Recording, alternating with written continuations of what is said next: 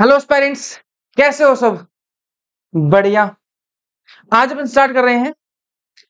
उत्सर्जी उत्पाद एवं उनका निष्कासन इस चैप्टर का अपन वन शॉट करने वाले हैं। अगले 40 से 45 मिनट के अंदर इस चैप्टर को कंप्लीट करने की कोशिश करेंगे और आपके दिमाग में पूरा सेट करेंगे। ठीक है? एनसीईआरटी की जो लाइंस है, वो इन नोट्स के अंदर आपकी कवर्ड रहेंगी। जो अभी नोट्स आपके सामने मैं करवाऊँगा, उनके अंदर कवर्ड है। तो आप ये नोट्स जो है, आप रिविजन के लिए यूज़ कर सकते हो। ठीक है? चलो जी स्टार्ट करें। स्टार्ट करने से पहले कुछ रिक्वेस्ट कर लेता हूँ। लाइक सब्सक्राइब तो आप कर दोगे उसके अंदर कोई कहने वाली बात ही नहीं है। उसके अलावा डिस्क्रिप्शन में ऐप का लिंक है आर एन अकेडमी ऐप उसको डाउनलोड कर लेना। वहाँ पर आपको ये पीडीएफ और टेस्ट हो रहा है अपना आ, अगले संडे को। और उसको अपन फुल आ, फुल बायोलॉजी का टेस्ट है फुल क्लास इलेवंथ बायोलॉजी का टेस्ट है अपना। तो वो आप देखिए देखिए आप कहाँ स्टैंड कर रहे हो। फ्री ऑफ़ कॉस्ट चल रहे हैं वहाँ पे टेस्ट होते रहते हैं। उसके अलावा पीडीएफ नोट जितने भी हो सारे आपको वही मिलेंगे। तो डाउनलोड कर लेना। उसके अलावा टेलीग्राम चैनल का लिंक है उसको भी ज्वाइन कर लेना। वहाँ पर आपको पता रहेगा कब क्लास होनी है कब नहीं होनी ये सारी बात। है चलो आगे बढ़ते शुरू करते हैं आज का चैप्टर नाम है जी उत्सर्जी उत्पाद एवं उनका निष्कासन। ठीक है? एक्सक्रीशन ठीक। देखो उपापचय क्रियाएँ होती है मेटाबॉलिक क्रियाएँ होती हैं, ठीक है? और अपन अंतग्रहण करते हैं, कुछ खाते हैं अपन, ठीक है? पीते हैं, ठीक है? अपन पीते हैं मेन खाने वाला नहीं होगा, यहाँ पर पीने वाला होगा। अपन कुछ अंतग्रहण करते हैं, पीते हैं और अपनी मेटाबॉलिक एक्टिविटीज़ हो रही हैं। उनसे क्या होगा? उनसे ammonia urea uric acid CO two water N A plus K plus C L negative phosphate sulphate आदि का क्या हो जाएगा? संचय हो जाएगा, आदि चीज़ें क्या हो जाएँगी? स्टोर हो जाएँगी। अपन पी रहे हैं कुछ कुछ अपन अंतर्ग्रहण कर रहे हैं मतलब पी रहे हैं उसके अलावा अपनी बॉडी के अंदर मेटाबॉलिक एक्टिविटी चल रही है। इनसे क्या होगा? जब मेटाबॉलिक एक्टिविटी चलेंगी तो ammonia urea uric acid CO two water N A plus K plus sulphate phosphate ये सारी चीज़ें जो है अपने हमारे अंदर क्या है? आ, जो है स्टोर होने लगेंगी संचय होने लगेगा। और यही सारी चीज़ें क्या है आपकी? उत्सर्जी उत्पाद है। यही सारी चीज़ें क्या है आपके? उत्सर्जी उत्पाद हैं। अब इनका निष्कासन किस प्रकार से होगा? वो अपन को देखना है जी। उत्सर्जी उत्पाद क्या है? वो आपको समझ में आ गया ये सारे उत्सर्जी उत्पाद हैं। वो ये कैसे जी? अपन ने अंतरण कर लिया या फिर अपनी जो मेटाबॉलिक एक्टिविटी है, उनसे ये क्या है, ये आपकी उत्सर्जी उत्पाद बने हैं, ये स्टोर हो चुके हैं। अब इनका आपको इनको निष्कासन करना है। आ जाओ जी। पहले बात करेंगे अमोनोटेलिक कुछ जीव होते हैं अमोनोटेलिक ठीक है। भैया अमोनोटेलिक जीव मतलब? हिंदी में बात करें अमोनिया उत्सर्जी। ऐसे जीव जो अमोनिया का उत्सर्जन करते हैं, ऐसे जीव जो अमोनिया का उत्सर्जन करते हैं उनको क्या कहेंगे अपन? अमोनोडेलिक कहेंगे अमोनिया उत्सर्जी कहेंगे। ये उत्सर्जन किसका करेंगे? अमोनिया का उत्सर्जन करेंगे। भैया तो नाम ही पता लग रहा है। और एक चीज़ मैं आपको बता देता हूँ कि जो जितना ज़्यादा टॉक्सिक होगा ना, जो जितना ज़्यादा टॉक्सिक उत्सर्जित पदार्थ होगा, उसको बाहर निकालने के लिए उतनी ही ज़्यादा पानी की आवश्यकता होगी। वापस सुनो एक बार मैं क्या कहना चाह रहा हूँ। मैं कहना चाह रहा हूँ कि जो उत्सर्जित पदार्थ जितना ज़्यादा टॉक्सिक होगा, उसको उतना ही ज़्यादा पानी की आवश्यकता होगी बाहर निकालने के लिए। ठीक है? अमोनिया, यहाँ पर उत्सर्जन पदार्थ क्या है अपना? अमोनिया है। ठीक है? तो यहाँ पर अधिक जल की आवश्यकता होती है। अधिक जल की आवश्यकता होती है। अमोनिया क्या है? टॉक्सिक है। तो इसको बाहर निकालने क्या है? अपन को ज़्यादा से ज़्यादा पानी की आवश्यकता होगी। और यहाँ पर एग्ज़ाम्पल की बात करें कि अमोनिया उत्सर्जी जीव कौन से होते हैं? तो आपके जलीय उभयचर, ऐसे उभयचर जो एल्फीबियन जो पानी के अंदर रहते हैं, जलीय कीट, ऐसे कीट जो पानी के अंदर रहते हैं, और बोनीफिसस ये भी पानी के अंदर ही रहती है। तो ये जो पानी में रहने वाले जीव जो है, वो आपके अमोनिया उत्सर्जी होते हैं यहाँ पर, ठीक है? पानी की कोई कमी नहीं है, ठीक है। अमोनिया को निकालने के लिए पानी की ज़्यादा आवश्यकता होती है, इनके पास पानी ही पानी है। निकाल देंगे जी, ठीक है, आज का आगे। अगला यूरियोटेलिक, ठीक है। यूरियोटेलिक मतलब यूरिया उत्सर्जी, ऐसे जीव जो यूरिया का उत्सर्जन करते हो। ठीक है, यहाँ पर उत्सर्जन किसका होगा? यूरिया का होगा, ठीक है। अब बात करें पानी की कितनी आवश्यकता होगी। तो मैंने कहा, अमोनिया तो बहुत क्या है टॉक्सिक है। तो उसको निकालने के लिए पानी की आवश्यकता भी क्या होगी? बहुत ज़्यादा, ठीक है। तो यूरिया जो है वो टॉक्सिक तो है, लेकिन अमोनिया से कम टॉक्सिक है, ठीक है? यूरिया भी क्या है? टॉक्सिक तो है, लेकिन अमोनिया से कम टॉक्सिक है तो अमोनिया से कम पानी भी चाहिए इसको, ठीक है? कम टॉक्सिक है तो कम पानी चाहिएगा तो अमोनिया से कम पानी की आवश्यकता होती है। पानी की आवश्यकता ज़्यादा तो होती है, लेकिन अमोनिया के मुकाबले में कम होती है, ठीक है? एग्ज़ाम्पल की बात करें तो स्तनधारी यहाँ पर एग्ज़ाम्पल हो जाएँगे, ठीक है? आपके स्तनधारी में हम भी आगे, ठीक है? स्थलीय उभयचर हो गए, ठीक है? लवणीय मछलियाँ होगी तो ये सारी किसके अंदर आएँगी? आपकी यूरियोटेलिक के अंदर आएँगे, यूरिया के अंदर आएँगे। फिर बात करेंगे अपन यूरिकोटेलिक ठीक है? हिंदी में यूरिक अम्ल उत्सर्जी। ऐसे जीव जो यूरिक अम्ल का उत्सर्जन करते हैं, उनको यूरिक अम्ल उत्सर्जी कह देंगे। ठीक है, उत्सर्जन किसका करेंगे? यूरिक एसिड का करेंगे। और इनको यूरिक एसिड जो है आपकी, वो थोड़ी कम क्या है टॉक्सिक होती है। तो इसको निकालने के लिए कम पानी की आवश्यकता होगी। तो सबसे कम जो है जल की आवश्यकता, यूरिया यूरियो जो टेलिक है यूरिकोटेलिक सॉरी यूरिकोटेलिक जो है उनके अंदर होगी। यूरिक अम्ल का उत्सर्जन करने वाले। में एग्ज़ाम्पल की बात करें तो रेप्टाइल्स हो गए, आपके बर्ड्स हो गए इंसेक्ट हो गए स्नेल्स हो गए। तो आपने नोटिस भी किया होगा। कि आप जो कि जो पक्षी वगैरह है ना ठीक है इनका आपने उत्सर्जन देखा है क्या? ठीक है। कम से कम पानी की आवश्यकता होती है।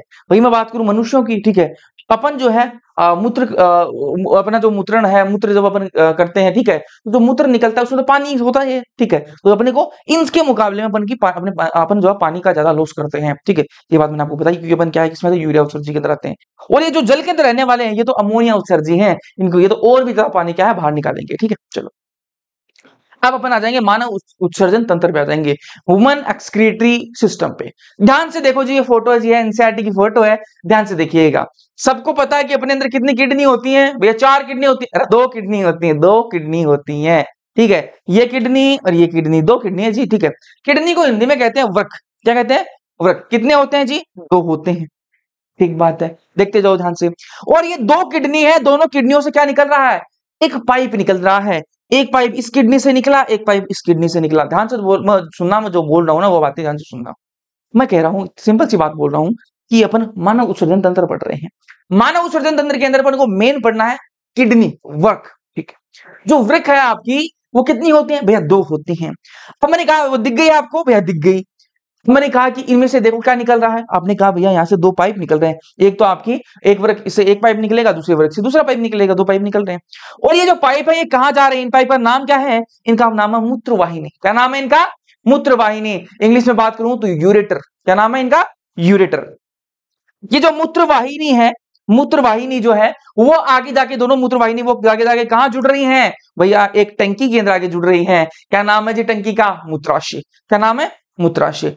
ठीक है? और मूत्राशय के आगे कोई द्वार लगा हुआ है क्या? भैया, द्वार तो है, क्या है? मूत्र मार्ग, ठीक चलो, आपको ये पता लग गया, ये क्या वर्क वर्क वर्क से क्या निकली आपकी? मूत्रवाहिनी, है ना? मूत्रवाहिनी से फिर मूत्राशय ठीक है? और फिर आपका मूत्र मार्ग। हम आपको पूछूँ वर्क कितने होते हैं भैया? दो, ठीक है? मूत्रवाहिनी कितनी? दो। मूत्राशय कितना? एक। मूत्र मार्ग कितना? एक, ठीक है? चलो, समझ में आ गई। अब आपके यहाँ पे बात सुनना। यहाँ पर ये जो आ रही है ना, ये जो आ रही है, रेड वाली, ये क्या है? धमनी है। कौन सी? वृक धमनी। ठीक है? रीनल आर्टरी इंग्लिश में कहते हैं, हिंदी में वर्क धमनी। और ये जो आ रही है, इसका नाम क्या है? पश्चिम महासीरा क्या नाम है? पश्चिम महासीरा अभी इतना याद रखो, ये जो स्ट्रक्चर अपन उसको आगे डिटेल में करेंगे, ठीक है? यहाँ तक आपने देख लिया, चलो। अब जो मैं आपको कह रहा हूँ कि आपकी जो मानव उत्सर्जन तंत्र है, वो किस किस से मिलकर बना हुआ होता है? एक मिनट दीजिए। इसको साइलेंट कर लें, ताकि अपन को ज़ीरो डिस्टर्बेंस हो।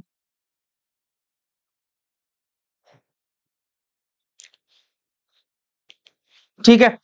अब देखो भाई, मानव उत्सर्जन तंत्र जो है वो किस किस से मिलकर बना हुआ है? वृक किडनी से, ठीक है? मूत्रवाहिनी, उसके अलावा मूत्राशय और मूत्रमार्ग, बस खत्म हो गया, ठीक है? तो इन चीज़ों से मिलकर आप क्या है मानव उत्सर्जन तंत्र जो बना हुआ होता है।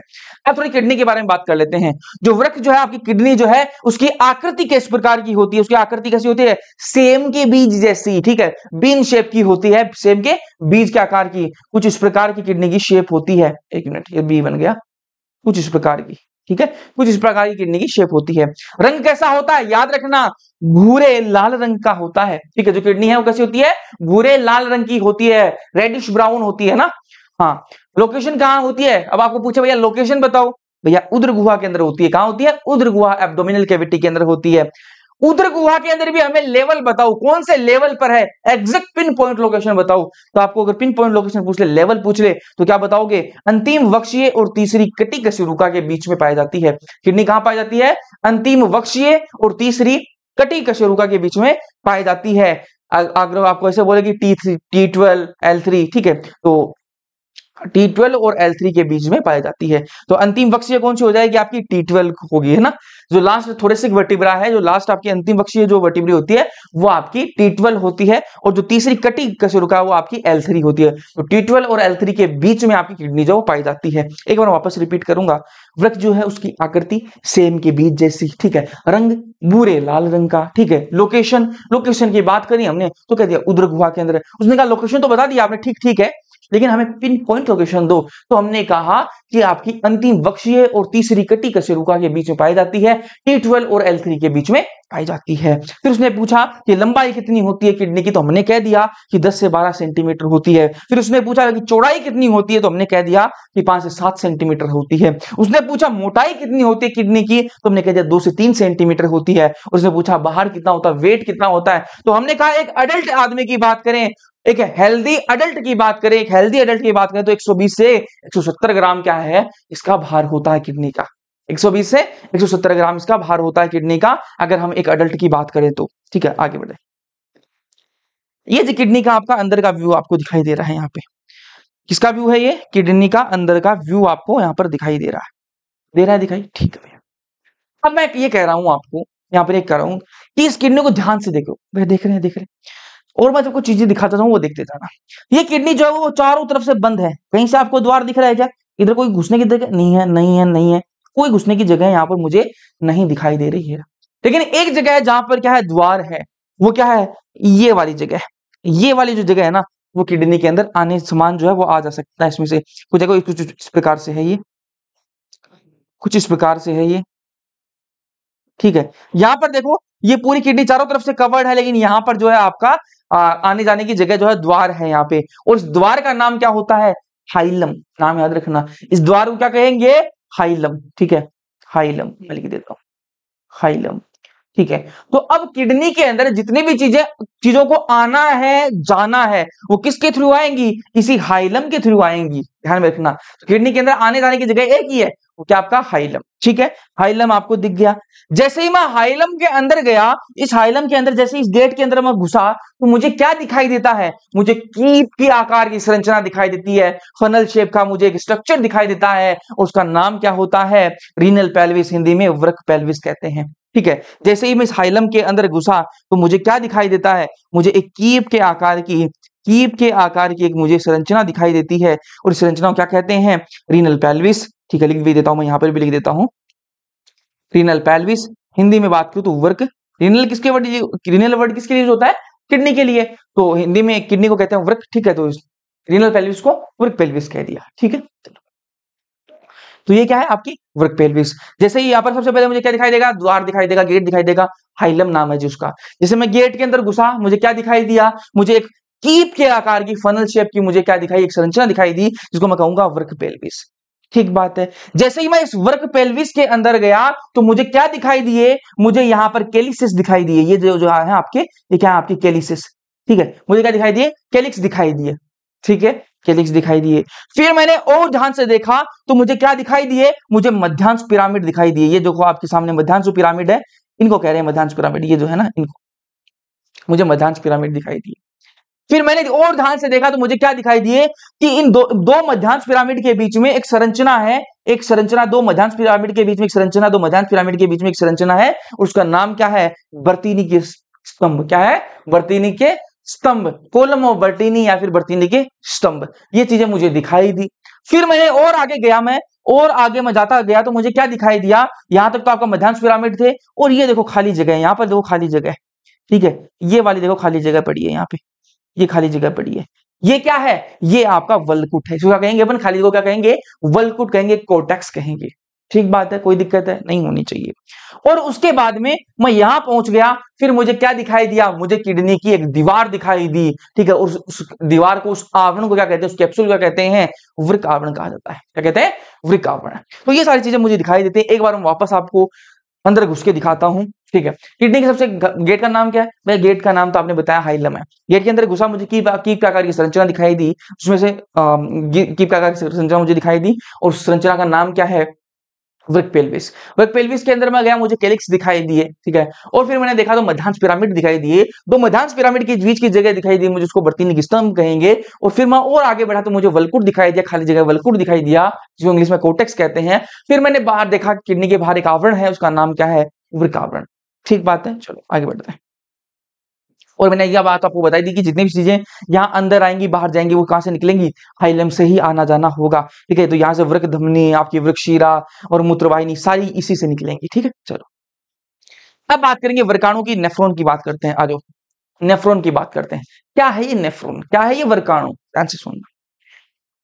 एक किडनी के अंदर, एक किडनी के अंदर एक मिलियन वर्काणु होते हैं। ध्यान से सुनो पहले। अपन वर्काणु की बात कर रहे हैं, नेफ्रोन की बात कर रहे हैं, मैं ये कह रहा हूँ कि एक किडनी के अंदर एक मिलियन आपके वर्काणु होते हैं और एक मिलियन यूट्यूब का जमाना आप सब जानते हो कितना होता है, दस लाख, ठीक है? तो एक वृक के अंदर किडनी के अंदर कितने वर्काणु होते हैं? एक मिलियन होते हैं, ठीक है? अब ये वर्काणु है क्या?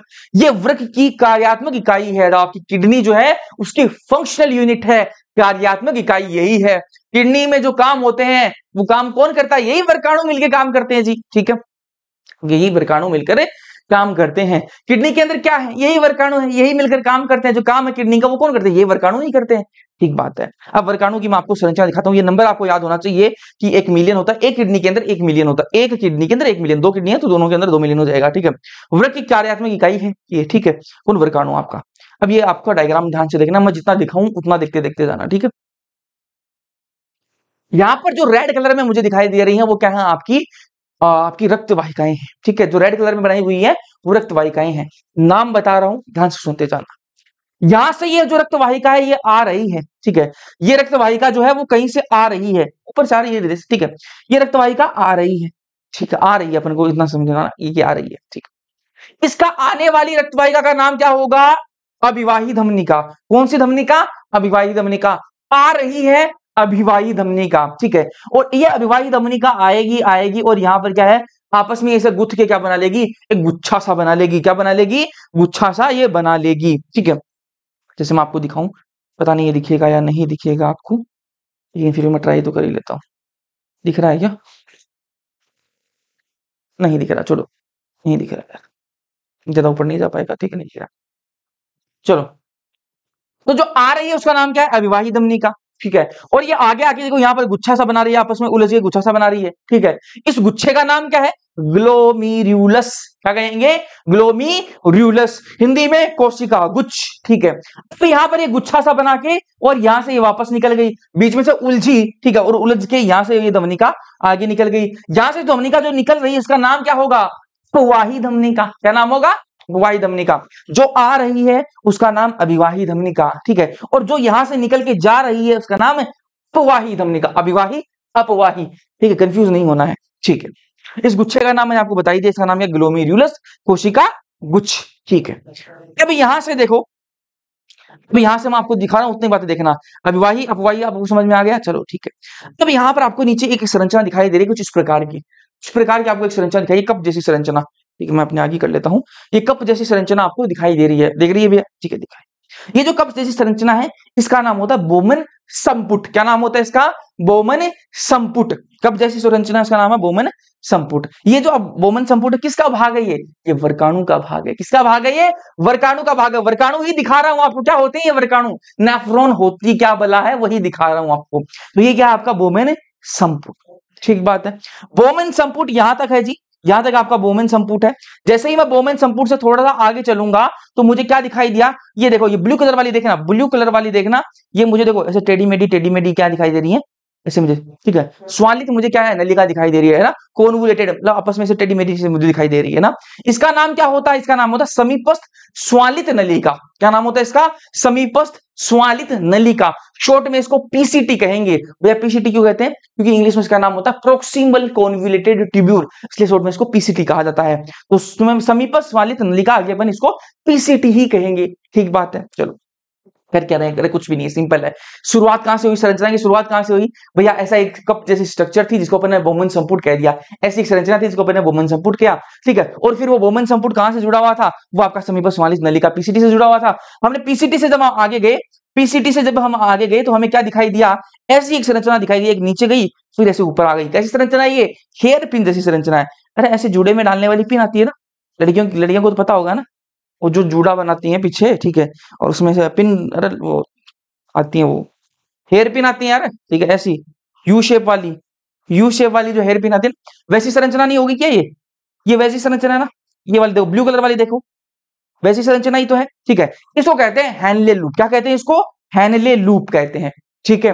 हेनले लूप से जब हम आगे बढ़ेंगे तो हमें क्या दिखाई दिया? वापस एक ऐसे से मुड़ी हुई सी संरचना हमें दिखाई दी, उसको कहेंगे अपन दूरस्थ स्वालित नलिका क्या कहेंगे? दूरस्थ स्वालित नलिका और इस में कहेंगे इसको डीसीटी कहेंगे। अब ये जो दूरस्थ स्वालित नलिका वो आगे जाके किसमें जुड़ती है? एक बड़े से पाइप में जुड़ जाती है, जिसको कहते हैं अपन संग्रह नलिका अब एक तो ये जुड़ गई, और ऐसे इसमें संग्रह नलिका के अंदर और भी ऐसे नेफ्रॉन जो वो जुड़े हुए होते हैं। एक संग्रह नलिका के अंदर बहुत सारे नेफ्रॉन जो जुड़े हुए होते हैं। एक बार वापस रिपीट करूँगा, फिर आपको चीज़ें आपको क्लियर होनी चाहिए, देखो। देखो ध्यान से। यहाँ से अपना नेफ्रॉन स्टार्ट होता है, ठीक है? सबसे पहले क्या दिखाई दी? ऐसी कप शेप की संरचना हमें दिखाई दी, जिसको कहते हैं बोमन संपुट। बोमन संपुट किससे जुड़ा हुआ था? पीसीटी से जुड़ा हुआ था। पीसीटी को हमने देखा, फिर हम आगे पीसीटी से आगे बढ़े तो हमें क्या दिखाई दिया? एक हेयर पिन जैसी संरचना दिखाई दी यू शेप की, एक हेयर पिन जैसी संरचना दिखाई दी, उसका नाम होता है जी हेनले लूप ठीक है? ठीक है हेनले लूप और उसके बाद में हमें क्या दिखाई दी? डीसीटी दूरस्थ वाली नलिका और फिर हमें संग्रह नलिका ठीक है? एक संग्रह नलिका के अंदर काफ़ी सारे नेफ्रॉन जुड़े हुए होते हैं, ठीक है? अब मैंने बताया कि ये क्या है? आपकी हेयर पिन जैसी रंजना, जिसका नाम क्या है? Henle loop. अब ये वाली जो इसकी भुजा जो है ना, हैंडले लूप के अंदर दो भुजाएँ एक तो नीचे आ रही है, एक ऊपर जा रही है। एक नीचे आ रही है, एक ऊपर जा रही है, ठीक है? इसमें देखो, जो वाली भुजा नीचे आ रही है ना उसको क्या कहेंगे अपन? अवरोही हैंडले लूप। क्या कहेंगे? अवरोही हैंडले लूप। ऊपर से नीचे आ रही है ना अवरोही हैंडले लूप। और जो नीचे से ऊपर जा रही है, उसको कहेंगे आरोही हैंडले लूप कहेंगे, ठीक है? तो ये आपको नाम याद होने चाहिए। बात आते हैं, अपन वापस अपनी रेड कलर वाली जो धमनिका उस पर बात आते हैं, जो आ रही है इधर से, उसको कहेंगे अपन विवाही धमनिका और जो यहाँ से निकल रही है, उसको कहेंगे अपवाही धमनिका और ये निकल कर जो है, वो पीसीटी के चारों तरफ़ घूमती है, फिर यहाँ पर अपनी जो अपने जो रहनले लूप है, इसके चारों तरफ़ घूमती है, ठीक है, चारों तरफ़ घूमेगी इसके, और यहाँ पर जो इसको नाम दिया जाएगा, वो नाम दिया जाएगा इस धमनिका को वासारिकता कहेंगे, क्या कहेंगे? वासारिकता। फिर ये यहाँ से निकल यहाँ चली जाती है, ठीक है? यहाँ तक आपको समझ में आया क्या? सिंपल संरचना है, ये संरचना आपको समझ में पड़ेगी। मैं एक बार वापस रिपीट कर दूँगा, कोई दिक्कत वाली बात नहीं है। चलो, मैं एक बार वापस बोल देता हूँ, बोल देता हूँ। कैप जैसी संरचना, ठीक है भैया? पीसीटी ठीक है? फिर हैंडले लूप हेयर पिन जैसी संरचना आती है, ठीक है? जिसमें नीचे वाली जो भुजा होगी, उसको अपन कहेंगे अवरोही भुजा, जो ऊपर जा रही होगी, उसको आरोही भूजा। उसके बाद डीसीटी आता है फिर वो संग्रह नलिका के अंदर जुड़ जाता है, ठीक है? तो दो प्रकार के आपके वर्काणु होते हैं। वर्काणु जो है आपने देख लिया भैया हमने देख लिया वर्काणु हमने देख लिया। दो प्रकार के होते हैं जी वर्काणु भी ठीक है? कैसे? दिखाते हैं। एक होता है वलकुटीय वर्काणु और एक होता है सानिध्य मध्यांश वर्काणु। एक होता है वलकुटीय वर्काणु एक होता है सानिध्य मध्यांश वर्काणु। वलकुटीय वर्काणु को, को इंग्लिश में कहते हैं कोर्टिकल नेफ्रोन और सानिध्य मध्यांश वर्काणु इनको कहते हैं जक्स्टा मेडुलरी नेफ्रोन फ़र्क क्या है जी? दो प्रकारों में फ़र्क क्या है? जो वलकुटीय नेफ्रोन होते हैं ना जो वलकुटी वर्काणु होते हैं, इनका हैंडले लूप जो होता है वो छोटा होता है। इनका हैंडले लूप जो है वो छोटा होता है। और जो सानिध्य मध्यांश वर्काणु है ना, उनका हैंडले लूप बड़ा होता है। अब मैं आपको एक चीज़ दिखाता हूँ डायग्राम में आते हैं। जिनका हैंडले लूप छोटा होगा ना, जिनका हैंडले लूप छोटा होगा तो वो बेचारे जो है नीचे की तरफ़ नहीं जा पाएँगे, ठीक है? जिनका हैंडले लूप छोटा होगा तो वो तो यहाँ ही रह जाएँगे, ठीक है? जो वर्काणु जिनका हैंडले लूप छोटा होगा, वो तो बेचारे यहाँ ही रह जाएँगे। मतलब वो क्या है, वलकुट वलकुट वाले भाग के अंदर रहेंगे। वो वलकुट वाले भाग के अंदर रहेंगे। इनके, इसलिए उनको क्या कह देंगे अपन? वलकुट वर्काणु कह देंगे। और जिनका हेले लूप बड़ा होगा, वो मध्यांश वाले भाग तक चले जाएँगे। जिनका वलकुट, जिनका हेले लूप बड़ा होगा, वो मध्यांश वाले भाग तक चले जाएँगे। इसलिए उनको कहते हैं उनको सानिध्य मध्यांश वर्काणु। ये वाला फ़र्क है।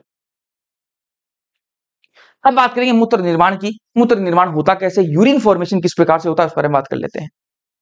यूरिन फॉर्मेशन को समझने के लिए सबसे पहली जो स्टेप आती है वो क्या है? आपकी परानिशंदन क्या है? परानिशंदन करना पड़ेगा। अपन को अल्ट्रा फिल्ट्रेशन करना पड़ेगा। ठीक है? यहाँ से मैं इसको फ़र्स्ट स्टेप ना खोल कर मैं इसको स्टार मार्क कर दू तो ज़्यादा बैठ जाएगा ठीक है? मैं कह रहा हूँ, पहली जो स्टेप है वो क्या है परानिशंदन इंग्लिश में ज़्यादा समझ में आएगा आपको। अल्ट्रा फिल्ट्रेशन बहुत ही गहराई से अपन फ़िल्टर करेंगे। ठीक है? फिल्ट्रेशन ये अल्ट्रा फिल्ट्रेशन है ना? ठीक है, चलो। क्या होगा देखो ध्यान से। ये क्या है जी? रक्तवाहिका। लाल कलर में रक्तवाहिका। ठीक है? यहाँ पर ये क्या है आपका? आधारीय झिल्ली बेसमेंट मेम्ब्रेन है। ठीक है? और ये जो नीचे आपको जो दिखाई दे रही है, वो क्या है? अभी मैं आपको दिखाता हूँ। सारा सीन आपके दिमाग में क्रिएट करता हूँ। ये जो तीन चीज़ें मैंने आपको सामने रखी है ना, ये आई कहाँ से वो दिखाता हूँ आज। ये देखो। दिख रहा है ये संरचना? दिख रही है आपको? दिख रही है भैया।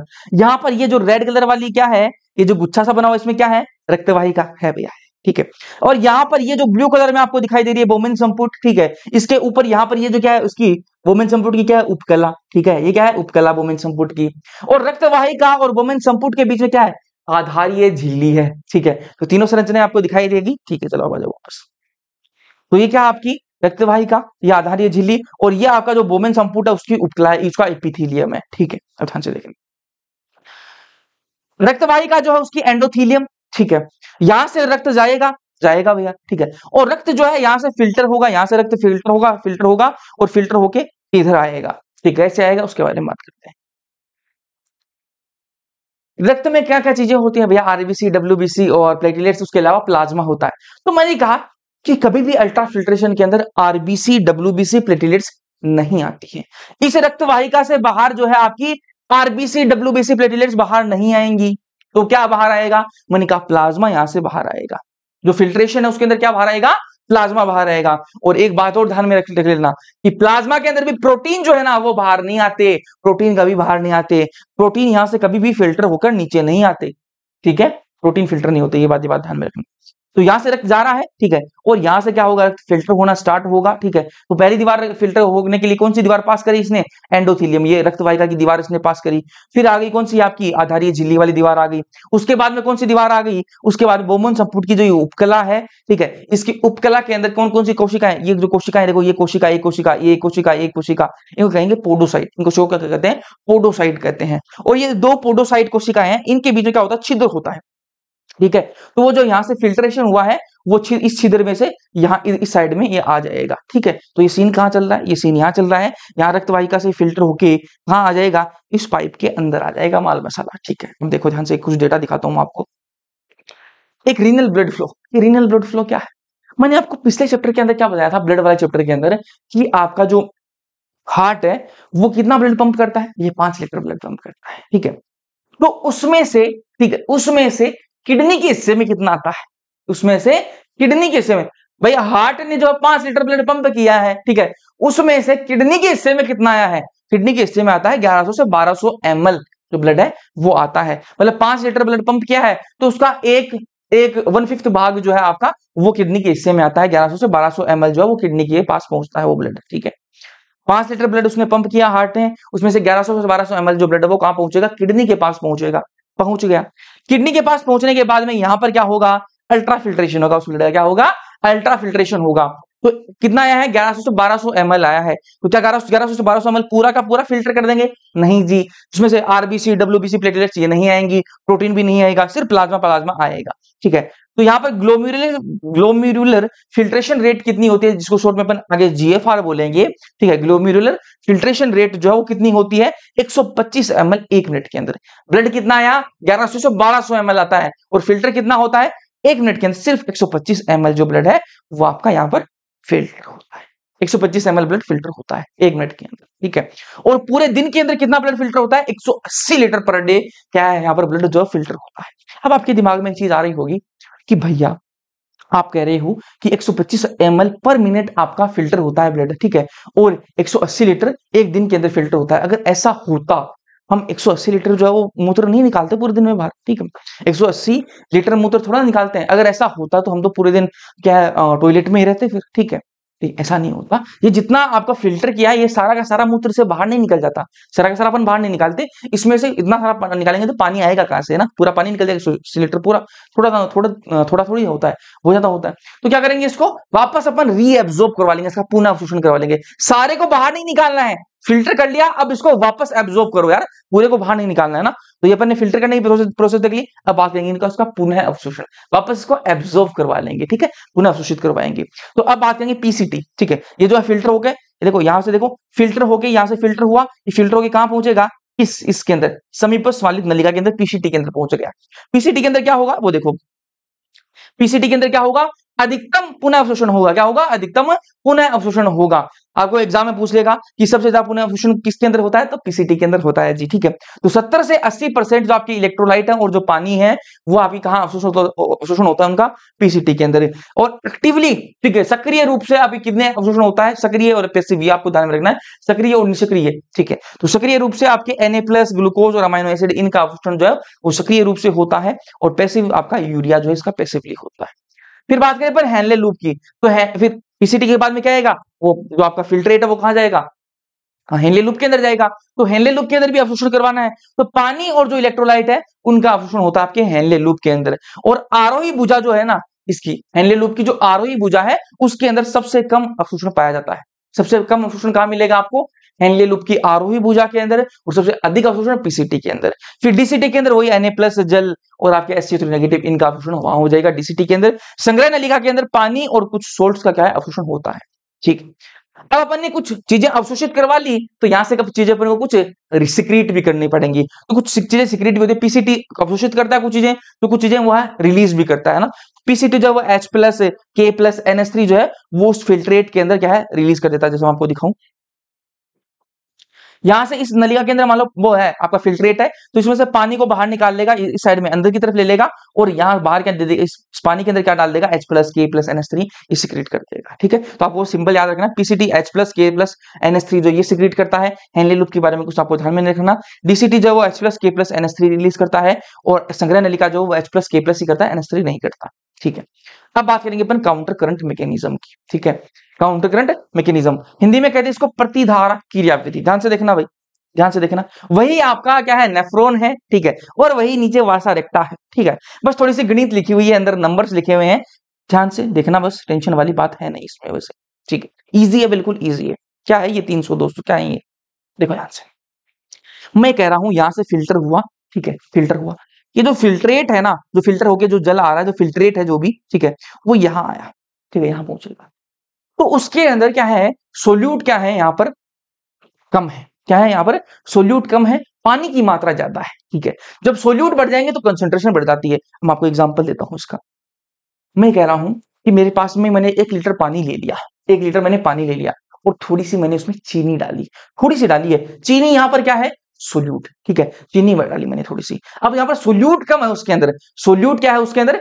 कम है। तो मेरा जो पानी है यहाँ पे मेरा जो पानी है आ, जो मैं जो चाशनी में बना रहा हूँ मीठा कर रहा हूँ पानी मीठा कम होगा ना? कम कंसेंट्रेशन उसकी कम रहेगी ना? मैं चीनी और डाल दूँगा तो उसकी कंसेंट्रेशन और बढ़ जाएगी। मैं चीनी उसमें और डाल दूँगा तो उसकी कंसेंट्रेशन और बढ़ जाएगी। तो यहाँ पर क्या है? 300 ठीक है? 300 का मतलब क्या है? यहाँ पर कंसेंट्रेशन कम है जी, तीन सौ क्या है? कंसेंट्रेशन को दिखा रहा है। तो यहाँ पर कंसेंट्रेशन मतलब कम है मतलब पानी की मात्रा अधिक है। पानी की मात्रा अधिक मतलब डाइल्यूट है ना? हाँ पानी की मात्रा कम हो जाएगी तो कंसेंट्रेशन बढ़ जाएगी।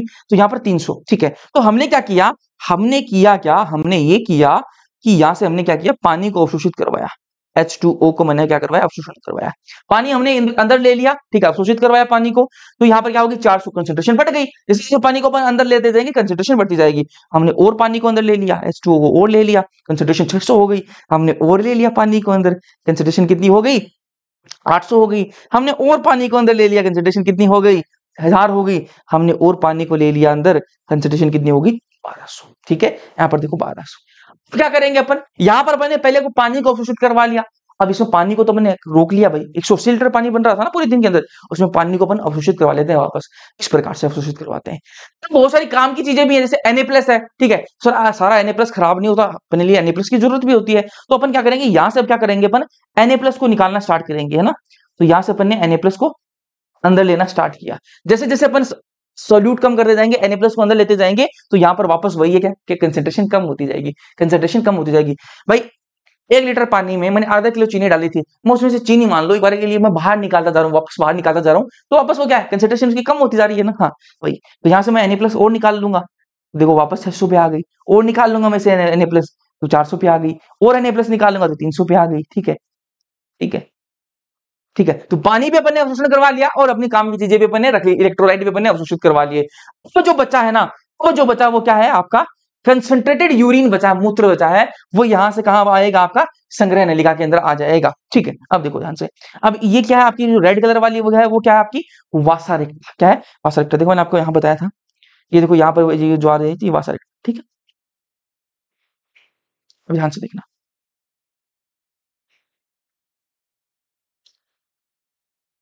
अरे मान जा यार sorry sorry sorry sorry sorry sorry minute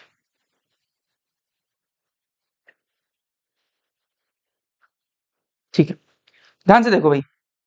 मैं कह रहा हूँ कि इसका नाम पहले तो काउंटर करंट क्यों है? इसलिए है कि आपका जो फिल्ट्रेट है, वो तो इस साइड में बहता हुआ जाएगा और आपका जो ब्लड है वो आपका इस साइड में आता जाएगा ठीक है? फिल्ट्रेट आपका इस साइड में ठीक है? और आपका जो ब्लड है वो आपका इस साइड में। दोनों आपस में एक दूसरे के उल्टे हैं इसलिए उसको काउंटर करंट मैकेनिज्म कहते हैं। हम किसी के आपके सामने कोई बोल रहा है और आप उसका काउंटर कर रहे हो तो काउंटर करंट मतलब उसके उल्टे बोल रहे हो ठीक है? उसका जवाब दे रहे हो। वैसे यहाँ पर ये इस साइड में तो ये साइड में हाँ, इसके लिए इसको प्रतिधारा कहते हैं ठीक है? तो ध्यान से देखो ये आपको समझ में आ गया तीन सौ दो सौ कैसे हो रहा है। यहाँ पर देखो यहाँ पर ये ब्लड कैसा है? तीन सौ। तीन सौ का मतलब क्या है? यहाँ पर कंसेंट्रेशन कम है। क्या है? कंसेंट्रेशन है कम है। जैसे जैसे यहाँ से मैंने एन प्लस को यहाँ से निम्न निकालता गया तो वो एन प्लस कहाँ गया? इस रक्त के अंदर आता गया, ठीक है? जैसे मैंने एन प्लस में इस, इससे निकाला था फिल्ट्रेट से निकाल रहा था, वो एन प्लस जा कहा रहा था? वो इस ब्लड के अंदर जा रहा था जी, ठीक है? जैसे ही ब्लड के अंदर 300 था, गया इसके अंदर एन प्लस तो इसकी कंसेंट्रेशन बढ़ गई 400 हो गया, ठीक है? जैसे इसके अंदर और एन प्लस गया तो क्या है? 600 हो गया, इसके कंसेंट्रेशन और बढ़ गई, ठीक है? जैसे कि इसके अंदर और गया तो 800 ठीक है? कंसेंट्रेशन बढ़ रही है, और गया हज़ार, और गया 1200 हो गया, ठीक है?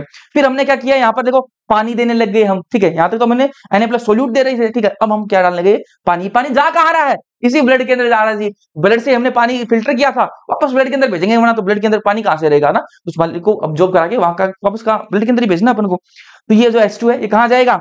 यहाँ देखो, हज़ार थी, अपनी कंसेंट्रेशन बारह सौ थी, हज़ार पे आ गई। ठीक है, कम होती जाएगी अब। है पानी ये कहा जा रहा है? हज़ार से आठ सौ, ठीक है। और अब पानी जाएगा 600 और पानी जाएगा 400 और पानी जाएगा 300 पे आ गई। ठीक है तो इस प्रकार से पानी को मैंने वापस अवशोषित करवा के ब्लड के अंदर भेज दिया, ठीक है। वापस ब्लड जाएगा पंप होके वापस आएगा, ठीक है। वापस इसे फ़िल्टर चलती रहेगी। इस प्रकार से काउंटर करंट मैकेनिज्म जो वो काम करता है। ठीक है, अब बात करेंगे वर्ग कार्यों का नियमन। आपकी जो किडनी है उनके फ़ंक्शन का रेगुलेशन किस प्रकार से होता है उसके बारे में बात करते हैं।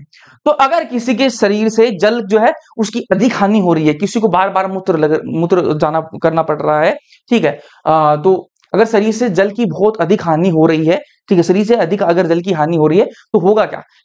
शरीर से जल की अधिक हानि होगी तो आपके जो ग्राही हैं वो एक्टिवेट हो जाएँगे जो रिसेप्टर्स हैं जो ग्राही हैं वो क्या हो जाएँगे एक्टिवेट हो जाएँगे और वो एक्टिवेट होकर सिग्नल किसको भेजेंगे? हाइपोथेलेमस को स्टूबलेट करेंगे। जैसे कि पानी का लॉस जो है, शरीर से पानी का जो हानि है, वो ज़्यादा होने लगेगी तो ग्राही जो है वो एक्टिवेट हो जाएँगे, वो सिग्नल भेजेंगे। हाइपोथेलेमस को स्टूमुलेट करेंगे उसको हाइपोथेलेमस को उत्तेजित करेंगे और हाइपोथेलेमस को कहेंगे, भैया, क्या निकालो आप? एंटी डायोरेटिक हॉर्मोन निकलवाओ। ठीक है? हाइपोथेलेमस क्या करेगा? एंटी डायोरेटिक हॉर्मोन एडीएच और वेसोपर या फिर वेसोप्रेसिन जो है, ये निकलवाएगा। कहाँ से? न्यूरोहाइपोफाइसिस से। ठीक है? ये अपन लास्ट चैप्टर के अंदर पढ़ेंगे, ठीक है डिटेल में। अब ये एंटी डायरेटिक हार्मोन जो एडीएच वो क्या कराएगा? जल का पुनः अवशोषण करवाएगा। पानी ज़्यादा नहीं कर रहा था ना शरीर से। अब ये क्या करेगा? जल को पुनः अवशोषित करवा लेगा, ठीक है? कि भैया, तेरे को ज़्यादा मैं निकलने नहीं दूँगा। तो निकल तो रहा है बाहर, लेकिन मैं ज़्यादा नहीं, मैं पुनः अवशोषण करवा लूँगा तेरा, ठीक है? तो जल का पुनः अवशोषण हो जाएगा, और क्या, जल की हानि रुक जाती है, ठीक है? चलो, इस प्रकार से होता है ठीक अब बात करेंगे आता रास मैकेनिज्म एक आता रास मैकेनिज्म रेनिन एंजियोटेंसिन ठीक है? जीएफआर में जब कमी आती है जीएफआर क्या होता है? वही ग्लोम्यूरुलर फिल्ट्रेशन रेट ठीक है? मैंने आपको बताया ना, एक मिनट के अंदर 125 ml जो है आपका ब्लड जो है आपका वो फ़िल्टर होता है, ठीक है? अगर जीएफआर में कमी आ गई, ठीक है? जीएफआर में कमी आने का मतलब क्या है कि किडनी के पास में ब्लड कम पहुँच रहा है। किडनी के पास में ब्लड जो है, वो कम पहुँच रहा है। तभी तो जीएफआर में कमी आई है। ठीक है? किडनी के पास में अगर ग्यारह सौ बारह एमएल आएगा तो वो एक सौ पच्चीस एमएल निकाल देगा। लेकिन अगर एक सौ पच्चीस एमएल नहीं निकल रहा है मतलब क्या ब्लड कम पहुँच रहा है किडनी के पास में तो जीएफआर में कमी आएगी तो वो क्या है, आपकी जक्स्टा ग्लोमिरुल जो सेल्स है जेजी सेल्स जो है ना, वो क्या होंगी एक्टिवेट होंगी। क्या होंगी जेजी सेल्स जो है, वो एक्टिवेट होंगी और वो क्या निकालेंगी? रेनिन निकालेंगी। क्या निकालेंगी? रेनिन देखो ध्यान से जीएफआर में जब कमी आएगी तो जेजी सेल्स जो है, वो एक्टिवेट होंगे और क्या निकालेंगी? रेनिन निकालेंगी। अब इस रेनिन का काम क्या है, एक एंजियोटेंसिन टेंसिनोजन जो है, वो लीवर बनाता है। लीवर क्या बनाता है एंजियोटेंसिनोजन बनाता है। और ये एंजियोटेंसिनोजन जो वो क्या है इनएक्टिव स्टेज के अंदर है। ठीक है इनएक्टिव स्टेज के अंदर है। ये जो यहाँ पर रेनिन बना है ना, ये रेनिन जो इस एंजियोटेंसिनोजन को जो क्या कर देगा एक्टिवेट कर देगा। क्या कर देगा? एक्टिवेट कर देगा। और ये एक्टिवेट करके इसमें किसको, इसको किसमें बदल देगा? एंजियोटेंसिनोजन वन के अंदर बदल देगा। फिर ये टेंसिनोजन जो किसमें बदल जाएगा? एनजीओ टेंसिनोजन सेकंड के अंदर बदल जाएगा। और ये जो एंजियोटेंसिनोजन सेकंड जो है, वो क्या निकालता है? वो क्या काम करता है? वो वेजो कंस्ट्रिक्शन का काम करता है। वेजो कंस्ट्रिक्शन क्या है? हिंदी में कहते हैं इसको वाहिका संकीर्णक आपकी जो ब्लड वेसल्स जो है, उनको क्या देगा? इसे पिचका देगा, ठीक है? अब जैसे अपन जो आपकी रबर वाली पाइप जो आती है ना, पानी डालने के लिए गार्डन वार्डन के अंदर, ठीक है? तो उसको अपन आगे से इसे पिचकाते हैं तो वो क्या है? उससे प्रेशर बढ़ जाता है ना, पानी का प्रेशर बढ़ जाता है, ठीक है? वैसा ही काम यहाँ पे होगा कि भाई जीएफआर की कमी, किडनी के पास में रक्त कम पहुँच रहा है तो क्या करेगा ये? वे जो कॉन्स्ट्रिक्शन क्या करेगा? वाहिका जो रक्त वाहिका है, उनको पिचकाएगा। जैसे पिचकाएगा ब्लड का प्रेशर बढ़ जाएगा ब्लड का प्रेशर बढ़ेगा तो किडनी के पास में ब्लड ज़्यादा आएगा और फिल्ट्रेशन जो है वो होने लगेगी जीएफआर वापस नॉर्मल आ जाएगा। और ये एंजियोटेंसिन सेकंड जो क्या काम करता है? एल्डोस्टेरोन निकालता है। एल्डोस्टेरोन का काम, क्या काम क्या है? एनए प्लस और जल का अवशोषण करवाना, ठीक है? तो एल्डोस्टेरोन और वेजो कंस्ट्रक्शन दो काम करता है एक और वापस रिपीट कर दूँ वरास मैकेनिज्म क्या है? जीएफआर में जब कमी आती है जेजी सेल्स एक्टिवेट होती है रेनिन निकालती है। रेनिन क्या करता है? एंजियोटेंसिनोजन को एक्टिवेट करता है और एंजियोटेंसिनोजन वन के अंदर बदलता है। एंजियोटेंसिनोजन वन एंजियोटेंसिनोजन सेकंड में कन्वर्ट होता है और उसके बाद में एंजियोटेंसिन सेकंड के अंदर कन्वर्ट होता है, ठीक है? और उसके बाद में वाही का संकीर्णक, ठीक है? और वेजिकोन्स्ट्रिक्शन होता है, जिसके अंदर आपकी वाही का जो पिचक जाती है और ब्लड प्रेशर बढ़ जाता है, और एंडो एल्डोस्टेरोन निकलता है, वो जो एनेप्लिस और जल का अवशोषण करवाता है, ठीक है? अब बात करेंगे अगली प्रोसेस जो है मूत्रण, ठीक है? क्या है ये मूत्रण? ध्यान से देखना। मूत्र को बाहर निकालने की क्रिया है जी, ठीक है? मूत्र को बाहर निकालते हैं, उसी को क्या कहते हैं उसी क्रिया को कहते हैं मूत्रण मिक्चुरेशन इंग्लिश में कहते हैं। देखो ध्यान से, ये क्या है जी? ये क्या बना हुआ है? ये आपका मूत्राशय है। ठीक है, मूत्राशय। ये नीचे क्या है? ये मूत्र मार्ग है, ठीक है। और इस मूत्र मार्ग के अंदर दो गेट लगे हुए हैं, इस मूत्र मार्ग के अंदर दो गेट लगे हुए हैं, जो ये वाला गेट है, ये क्या है? इंटरनल स्फिंक्टर है, और ये जो बाहर वाला गेट है, इसको क्या कहेंगे एक्सटर्नल स्फिंक्टर तो मूत्र मार्ग के ऊपर क्या लगे हैं? दो गेट लगे हुए हैं, एक अंदर वाला गेट इंटरनल स्फिंक्टर और एक बाहर लगा हुआ है, वो एक्सटर्नल स्फिंक्टर होता है। दोनों को मिला के हम क्या कह देंगे इसको? यूरिथ्रल स्फिंक्टर कह देंगे, ठीक। है अब आपने स्टार्टिंग में अपन ने देख लिया था कि जो आप मूत्र वाहिनी है, वो यहाँ पर रक्त आपकी जो है मूत्र लेके आती है, ठीक है, और इस टंकी के अंदर, मूत्राशय के अंदर स्टोर करती है। अब इस टंकी की यार कोई ना कोई लिमिट है। लिमिट तो हो गया टंकी की लिमिट होती है, इसकी भी लिमिट है, ठीक है। तो ये भर रहा है, भर रहा है, भर रहा है, भर रहा है, भर रहा है बढ़ते जा रहा है जैसे ये फुल भर जाएगा, जब ये फुल भर जाएगा तो इसकी दीवारों पर क्या है, इसकी दीवारों पर कुछ क्या लगे हुए होते हैं, ग्राही लगे हुए रिसेप्टर लगे हुए होते हैं। जैसे ये टंकी पूरी भर जाएगी, मुद्रा से पूरा भर जाएगा तो उसकी दीवारों पर क्या लगे हुए होते हैं? रिसेप्टर लगे हुए हैं। और ये रिसेप्टर जो है, वो क्या करेंगे? सिग्नल भेजेंगे। ये रिसेप्टर क्या करेंगे? सिग्नल भेजेंगे। किसको सिग्नल भेजेंगे? ये सिग्नल भेजेंगे सीएनएस को सिग्नल भेजेंगे। सेंट्रल नर्वस सिस्टम को सिग्नल भेजेंगे। और सीएनएस क्या करेगा? सीएनएस को कहेंगे रिसेप्टर कि भैया टंकी तो भर चुकी है। और ये जो है नालायक इंसान, ये इसको बाहर नहीं निकाला, खाली नहीं कर रहा टंकी को, ठीक है? तो क्या करना है? तो ये सीएनएस जो है, वो क्या करता है? इसको वापस सिग्नल देता है कि क्या करो तुम? संकुचन करो, ठीक है? जैसे तुम संकुचन करोगे, इसको भागना पड़ेगा। इसको भागना पड़ेगा, ये खाली करेगा, ठीक है? तो ये सीएनएस जो सिग्नल देता है और इसकी दीवारों में क्या होता है? संकुचन स्टार्ट हो जाता है, ठीक है? मुद्रासी की जो दीवारें हैं, उनमें संकुचन जो है, वो स्टार्ट होने लग जाता है। जैसे संकुचन स्टार्ट होने लगेगा, हमें फील होने लगा क्या होने लगेगा कि भैया, अब हमें जाना पड़ेगा, हमें जो है, अब मूत्र विसर्जन के लिए जाना पड़ेगा, मूत्र त्याग के लिए हमें जाना पड़ेगा, ठीक है? तो जैसे ही यहाँ पर जो है इस प्रकार से मतलब मूत्र का काम होता है ना। जैसे ही यहाँ पर जो मूत्राशय इसकी दीवारों के अंदर संकुचन होगा तो ये जो यूरिथ्रल स्पिंक्टर है, ये क्या हो जाएँगे? रिलैक्स हो जाएँगे। वापस सुनो ध्यान से। जैसे ही मूत्राशय की जो दीवारें हैं, उनमें संकुचन होने लगेगा, वैसे ही यहाँ पर ये जो दो गेट लगे हुए हैं ना, ये खुल जाएँगे। कौन सा गेट खुलेगा? अंदर वाला जो गेट है ना इंटरनल स्पिंक्टर ये हमारे बस का नहीं है। ये इसका, इसको कंट्रोल करना हमारे बस में है ही नहीं। इसको खोलना, बंद करना ये हमारे बस में नहीं है। जैसे ही यहाँ पर संकुचन स्टार्ट हुआ, ये गेट तो खुल जाएगा। हमारे हाथ में कौन सा है? ये बाहर वाला। एक्सटर्नल स्फिंक्टर इसको हम कंट्रोल कर सकते हैं। अब आप कहोगे भैया, कोई बात नहीं, अंदर वाले को खुल खुल जाने दो। हम बाहर वाले को कंट्रोल कर लेंगे। मैंने कहा, बाहर वाला आप कंट्रोल कर सकते हो, उसको आपके हाथ में है, लेकिन अगर एक बार अंदर वाला खुल गया ना, एक बार अंदर वाला गेट खुल गया तो बाहर वाले को आप ज़्यादा देर तक होल्ड कर नहीं सकते, ठीक है? इसलिए आपको बाहर जाना ही पड़ेगा। इस प्रकार से जो है मूत्र होता है, ठीक है मूत्रण होता है। अब यूरिन की बात कर लेते हैं। यूरिन का रंग कैसा होता है? हल्का पीला। पीएच कैसी होती है? 6.0 ठीक है मतलब क्या है?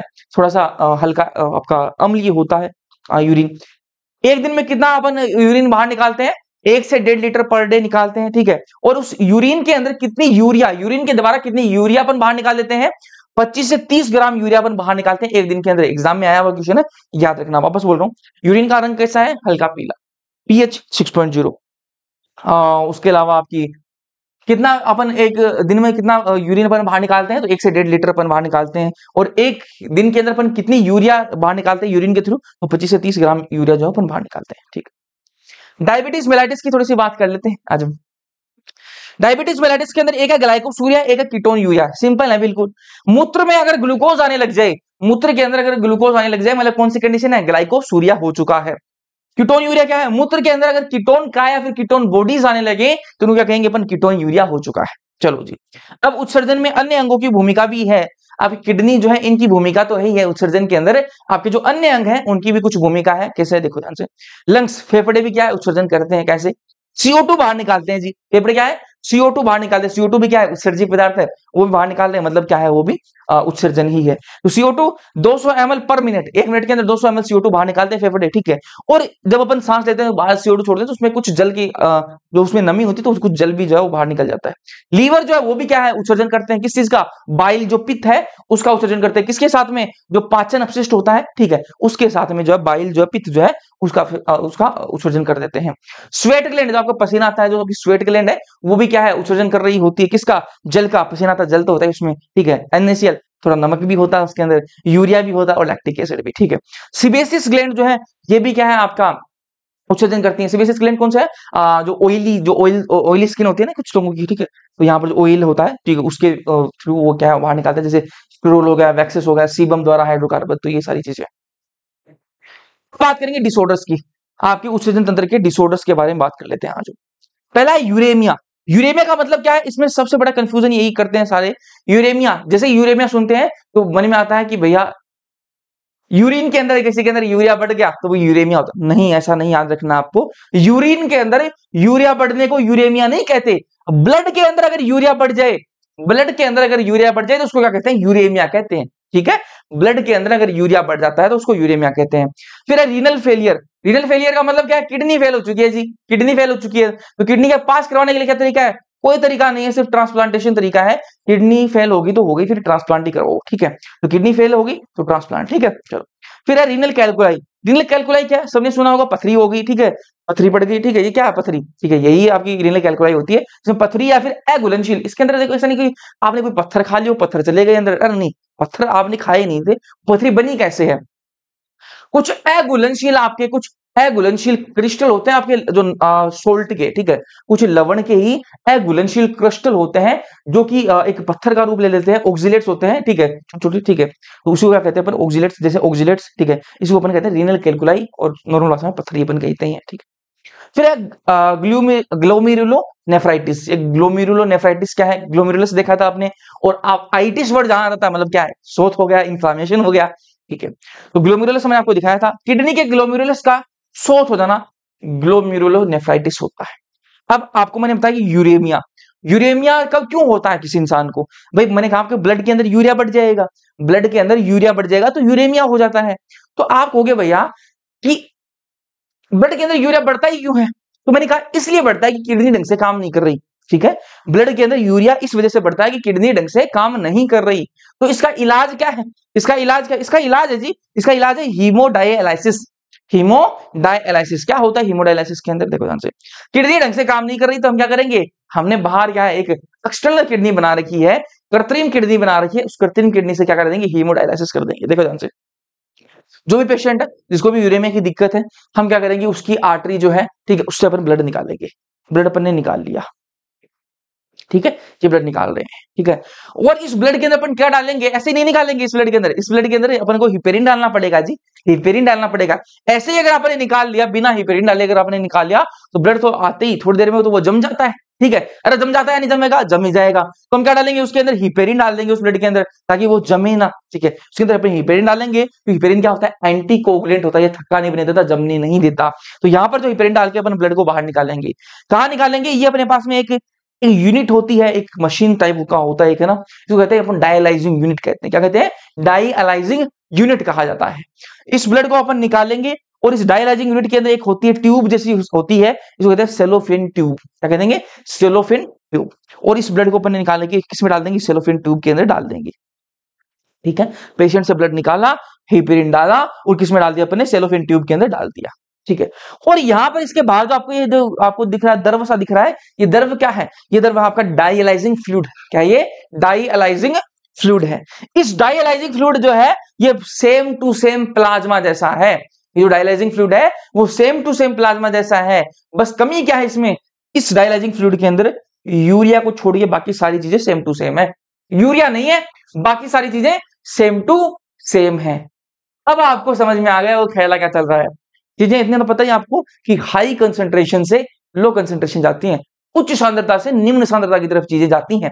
तो मैं कह रहा हूँ, इस डायलाइजिंग फ्लूड के अंदर बाकी सारी चीज़ें यूरिया नहीं है। और यहाँ पर जो अपने ब्लड डाला है ना ट्यूब के अंदर, उसके अंदर क्या है? उसके अंदर खाली यूरिया भरा हुआ है, ठीक है? उस ब्लड के अंदर यूरिया की मात्रा बढ़ी हुई है। इस ब्लड के अंदर यूरिया, ज़्यादा इधर यूरिया है नहीं, ज़्यादा से कम की तरफ़ यूरिया बाहर निकल जाएगा। यूरिया सारा बाहर निकलेगा और यूरिया ही तो अपन को बाहर निकालना था।